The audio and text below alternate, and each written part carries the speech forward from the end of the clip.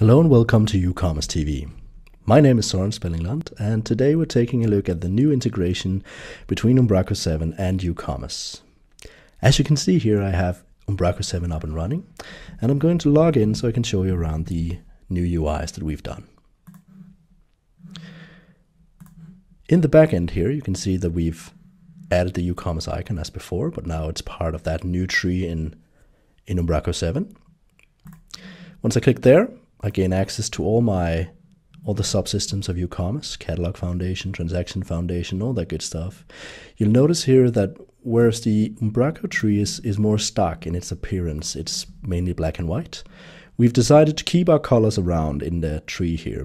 The reason for that is that the UCommerce tree has many different things in it, so to be able to better dis distinguish between a category and an order or a catalog, for example, we felt that keeping the colors around would make it easier to do that.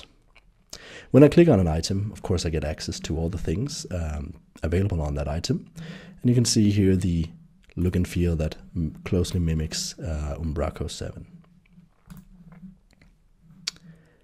One of the main differences between Umbraco 7 and Umbraco 6 is the editor model here. So one thing that I'm particularly fond of is the name up here that makes it much easier to see what you're actually editing. That wasn't actually possible in earlier versions of Umbraco, but today when you click on the tops category, you will also see the name displayed up here and make it editable, of course, so you can change the name as you will.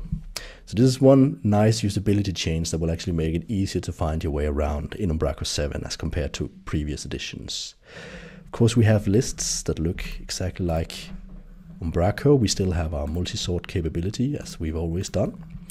And any editor that you add will automatically look and feel like uh, what you would expect in Umbraco 7. Now, one other thing that's important when you integrate with a new CMS like Umbraco 7 is, of course, Avenue Clothing. So you can see here I have Avenue Clothing installed with the checkout and all that good stuff. And you'll notice here that when I navigate to the front end, um, you will see that we have the entire thing up and running.